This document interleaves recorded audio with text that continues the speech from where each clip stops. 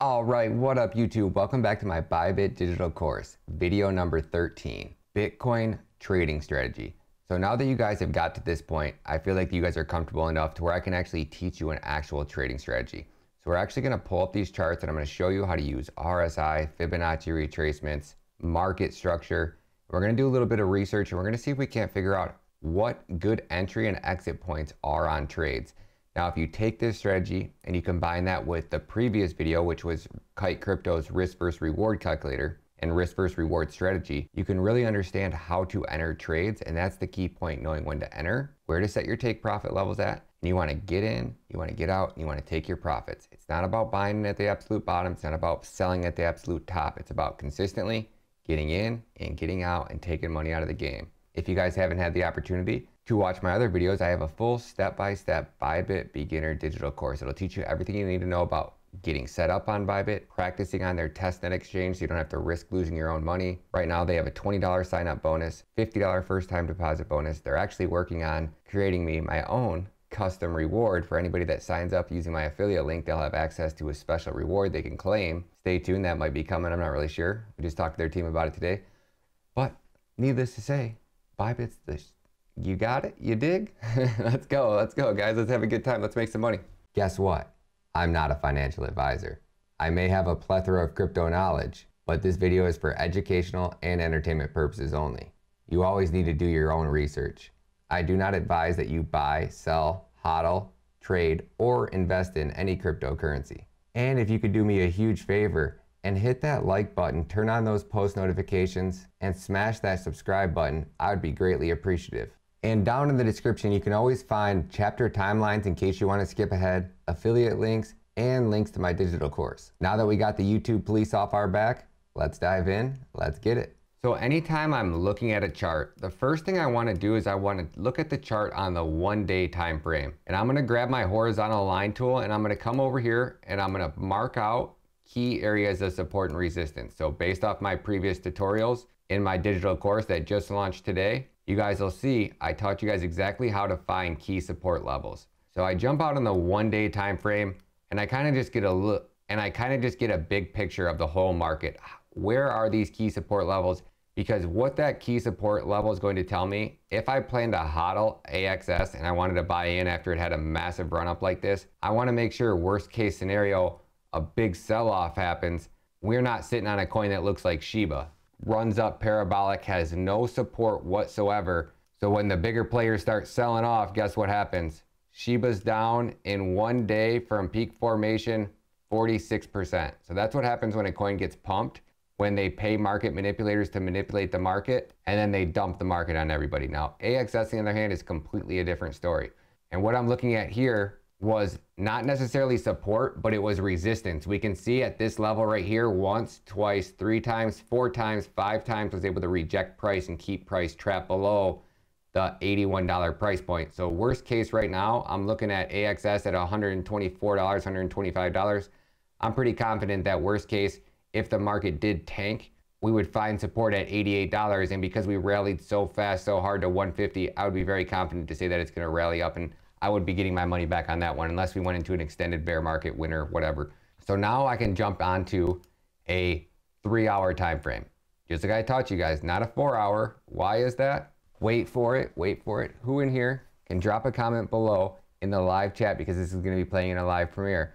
Who can drop a comment and tell me why I'm charting on a three hour time frame? And the winner is, I'm glad you asked, Johnny. We're charting on a three hour time frame because everybody else is charting on a four hour time frame. So what does that tell us? That tells us that we're going to get a little leg up on the competition. If everybody else is charting on a four hour time frame, guess what? They're seeing the exact same thing you're seeing.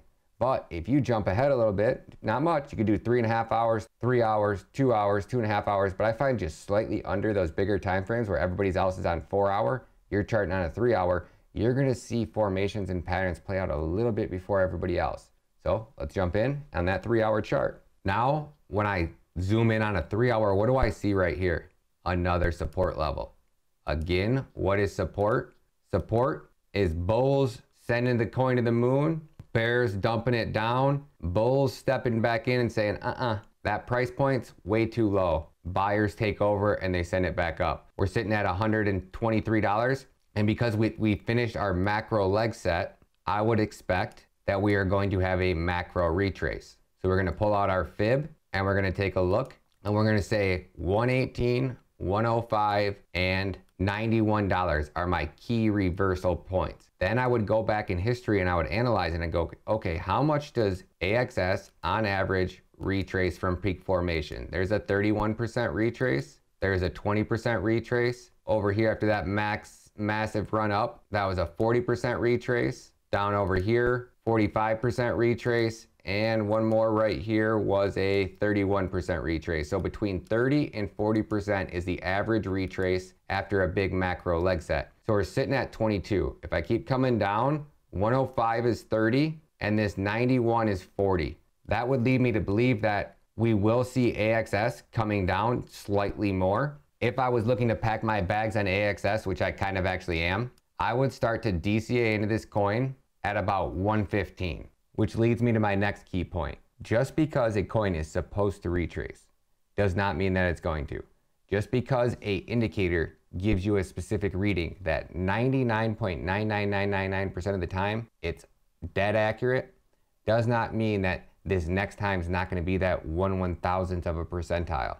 We are using market structure indicators, charting, formations to give us confirmation. That way we can statistically enter trades where we have the highest probability of winning those trades and being successful as a trader. So there's two different types of traders. There's actually like four. Scalpers, they're in trades for minutes. Day traders, they're in trades for hours. Swing traders, they're in trades for days. And hodlers or cruisers, they're in trades for months, years, weeks, days, years, hours, minutes, everything. Hodlers are all over the place, but more so long term. We are talking about day trading, scalp trading, and swing trading. Scalp traders more so use indicators and they rely heavily on indicators. Some just trade off just the order books alone and they're looking for those key points to get in, ride something up, get out. I'm teaching you guys more so of a day trader strategy that you can transition into a swing trade. Sometimes when you catch a low and the market turns really bullish, sometimes you just want to keep riding that one up and you just keep moving your stop loss up. That way, if price does dump down, you're taken out in the profits. You got nothing to worry about. But the best part about crypto, if we chart this out and we're waiting on those targets to get hit and they don't get hit, guess what? We don't care. Why? Because there's another 3,000 coins at any given time that we can chart out. And I would promise you, out of those 3,000, you should find a good trade to take. And it's all about giving yourself the best probability to consistently take money out of the market without ever betting too much, without ever putting too much of your portfolio at risk, and without ever risking more than you can afford to lose. Anytime you take a trade, you should plan on that money disappearing. You just lit it on fire. That's how you need to look at it. So before I overtalk it, let's get back to these charts. So now that I have a general idea of where price is going to retrace to, now this is where we split our chart and we pull up RSI. Now, I very rarely use RSI on a one day time frame, but I always want to just take a look at the one day. So I'm going to start out on the one day, right? I'm going to see where RSI is. And what I'm looking for is, is RSI above the 50 level on the one day time frame? If it is, and it's just now breaking above that on the one day, man, we could be in for a major rally on AXS. Now I'm going to jump over onto a four hour. And what am I seeing over here on a four hour? I saw us, we just double topped right here. So I can see that bearish divergence. So we're on a four hour time frame and we can easily, easily see this bearish divergence right here. But over on the left hand side, I'm still on the three hour. So let's turn this over to a four hour and see if it still looks the same. Should, and it does. Now you're seeing those charts. Let's pause this for a sec. Again, let's see who's watching this video, who's been paying attention, who's taken my entire digital course. What am I looking at here on the charts? Bearish divergence. We see RSI double top and put in equal highs, but what was price doing? Price putting in drastically lower highs. Momentum was going up, momentum hit a peak, and price was still coming down. So momentum was going up, price is still coming down. Hidden bearish continuation divergence. Letting you guys know that that was probably a pump up, but it's going to be followed by a continuation back to the downside. Let's see if this is accurate. Another key fact to keep in mind is just because you see bearish divergence on a chart doesn't always mean that it's going to reverse price. And it doesn't tell you how far price is going to come down. But we've seen this spike up here. Once that peak peaked out, and by peaked out, I meant candle printed, next candle started. You see that that's a peak over there. You can easily see this double high. You can easily see this double top over here. Again, I strongly suggest if you have not saw my RSI cheat sheet or my RSI tutorial, please go watch it because there's so much good information. But now we kind of got an idea of the market, right? We have some key support levels. We have our three key retrace targets. Now we're on a four hour. Now let's jump onto the one hour. Now the one hour chart is where I make a lot of my long decisions. I look at a one hour chart I look at market structure, I look for key retrace targets. I see that I'm still putting in lower highs, lower highs, lower highs. Over here on RSI, what are we doing over here on RSI? I can see this double top over here again.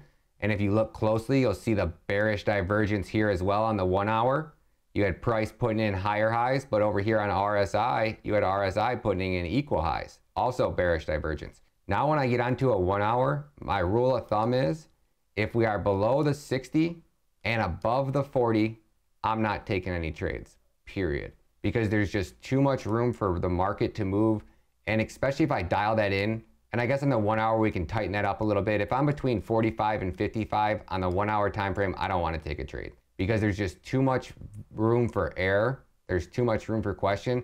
You can go up because the bots aren't ready to short it, and you can go down because the bots aren't ready to long it. So what I love to do is kind of take a look at the one hour, get an idea of the whole market, and then I really jump onto a five minute. That is where I'm looking to quote unquote catch the falling knife. What do I mean when I say catch the falling knife? I mean, there's going to only be so many times where RSI gets down below that 30 level. And those are the holy grail of trades. Anytime you see RSI getting below the 30 level, it doesn't necessarily mean that it's time to take a trade.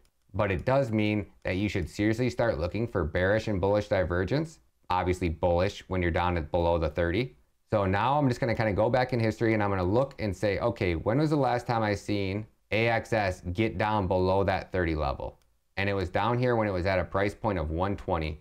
And you can probably see it, see it clear as day right here. What do we see right here on RSI? RSI putting in double bottoms. And what do we see over here on price? Price starting to put in higher lows. Now, this is not my favorite type of bullish divergence, but nonetheless, you're below the 30. You see price putting in bullish divergence. You see price putting in higher highs. You see RSI double bottoming at this level. I mean, had I saw this, I don't care if I didn't plan to trade this week or not, I would have taken that trade because that's how you get into these trades at absolute bottom. Now, just how I looked at this on Axie, I don't have to take a trade. We can go over here and see where the next time where it came down at. Again, it broke down below that 30 level. And where was RSI at? Well, I can see it right here, clear as day too. You can see it again here. Price putting in higher lows. Boom. And what's RSI doing? RSI was still drastically putting in lower lows. So you have price putting in higher lows, RSI putting in drastically lower lows. Breaks below the 30, we would have taken that long at 123. Now, granted, this is where it comes. Did you take profits? If you didn't take profits, you know, you didn't do yourself any good getting in there at 130. Now take a look at this. What do we notice now? See, this time price actually came down over here all the way to 120. So $3 less than it did over here. But where's RSI at? RSI is all the way above 41. So this is where you got to be patient. You got to wait for the right trades. And eventually you will see AXS, RSI come down here. Now it might be AXS gets up to 160 and then starts to retrace down to 125 or 135, 140, and then finally RSI, or it might run up to 190. And then when it hits 190, it might run all the way back down to 140, and you will eventually get a point where you're going to get the holy grail of entries. And that's what it's all about, guys. It's all about just waiting for the trades that you want, not taking trades just to take them. And when you see that bullish divergence print, you need to be confident that you can enter those trades. And just to, you know, save face, when you're at those levels and RSI is down here, you should be able to take these trades with a half percent or a 1% stop loss, no problem. And what happens if you get wicked out, you re-enter and you re-enter because the second it starts to run, you're gonna have the opportunity to make such massive gains. For example, that would have been a 20%, 18% gain in about nine hours. The other one was a 7% gain in seven hours, but you would have been able to get 6% in a few hours out of that trade. And the cool part about this, now the cool part about this is if you get a good understanding of how the game is actually played, when RSI readings are where they're at on the daily time frame, at that level where price can still really skyrocket up, if you get good enough and you understand like how the game is actually played, or you're not trying to just take money out of the market, this is where I'll actually enter these trades at these bottom fallen prices and I'll turn them into swing trades. So this is one of those things where I can turn trades into swing trades. And a good way to actually turn a day trade into a swing trade is especially if you get into one of the coins when it runs and it starts really ripping, you get up say 50%. Anytime you get up as a day trader or a swing trader on a trade that runs up 50%, if you don't take 50% out, you're crazy. You take 50% out, now everything else is left as profit. So if you can actually swing the day trade into a, a swing trade and catch a coin like Shiba or catch a coin like Solana or Cardano where these coins run up and go up 150, 200%, that's the key. But as a beginner, I strongly suggest just taking profits. You get in a trade, you have the time you enter it, you need to have a key target level of where you want to take those profits at. Depending on the setup, depending on RSI, you need to be able to read those charts. And when your indicators tell you to take a take profit, or you pull out your fib and you hit a key fib level, you take profits, you don't even think about it. You don't look back to see how much more you could have made. That'll get you wrecked. I've been there, I've done that, I got wrecked many a times, guys. So this is legit my crypto trading strategy. This is how I've been extremely, extremely successful as a crypto trader. This is the same strategy you guys watch me use every day. Every time we live stream, we're actually day trading. This is literally what I'm looking for. The sooner you can come to terms with the fact that you don't need to take a trade, guys. If I can teach you guys one thing, it's patience. Just wait. If AXS doesn't give you the trade setup, look for the next one. And if you don't get a trade today, that's the best thing you could ever do. Don't take a trade. Force yourself to chart out coins and play with paper money for two weeks straight. If you can show up at the charts and you can trade for two weeks every single day and actually gain money and actually add money to a play portfolio, you have what it takes to be a good crypto trader. If you can't paper trade for two weeks and be profitable at the end of those two weeks, if you can't do it with play money, you're never going to be able to do it with real money. And what Bybit Testnet does, and it's one of the main reasons why I love promoting for Bybit, because as a new crypto trader, the best thing you can do is practice. The worst thing you can do, trade on a coin, trade on an exchange like KuCoin, even Binance. Every time somebody switches to Bybit, it's about two weeks and they're like, oh my gosh, man, I cannot believe I traded on Bybit, KuCoin, Bittrex, Bitfinex, Kraken, FTX. They all say the same thing. I can't tell you the amount of times I've been wicked out and I didn't even see the charts hit my target. It's wild, guys. I, you guys know me. I'd talk it up, Bybit up all day. After this, I have an interview with Bybit, with their team. They're going to show us all around ByFi, Bybit Learn, what BitDAO is all about. And hopefully, they're going to get me that discount code for you guys so you guys can get some special bonuses over there on Bybit just for signing up with my affiliate link. Shout out to the squad. Love you guys. Can't wait to see you guys in the next video. And I hope you guys are crushing it. If you guys are watching this, this live stream is going to be running. The second I launch my digital course, I'm cutting out all these intros and outros. And the videos are going to be running on a continuous loop on a live stream. So that way I want to help as many people as I can. And the only way I can do that is if you guys hit that like button, hit that subscribe button for me. I'm giving this digital course away 100% for free. And it's for you guys to say thank you for everybody that goes out of their way to hit that like button, hit that subscribe button. I want to give you guys the opportunity to become successful traders without having to pay anybody. I wanted to make the best crypto trading digital course I could 100% for free. So anytime any of these other guys talk about a digital course or talk about another YouTuber, you guys like, nah, Ryan Matta has been giving us this shit for free. And we don't need to spend any money on any other gurus because literally this is all they are teaching you. You don't need to be in a pump group. You don't need to be in a signals group. Those things are scams and garbage, guys. If you can read these charts, I don't need anybody else to tell me a signal of a buy signal, right? I don't want to be involved in a pump because then I have to constantly be worried about when I need to take profits. I want to be able to look at a chart, read those charts, set up some indicators, and go as far as turning on alerts. So the next video I'm actually going to make is on alerts and kind of just do another Bitcoin trading strategy video. But alerts are huge and I haven't said anything about them before, so I need to make a video on that now that I just thought about it. But alerts are great. They're your best friend. If you're busy at work and you can at least get alerts on your phone so you can kind of stay up to date on the market, and that's why I say you need a certain amount of time to be a crypto trader because you can't just be taking trades. And a lot of times you need to manage those trades. So if you don't have the ability to get to your phone and manage them, you need to make sure that you're trading with stop losses and take profits. Love you guys. See you guys in the next video. Peace.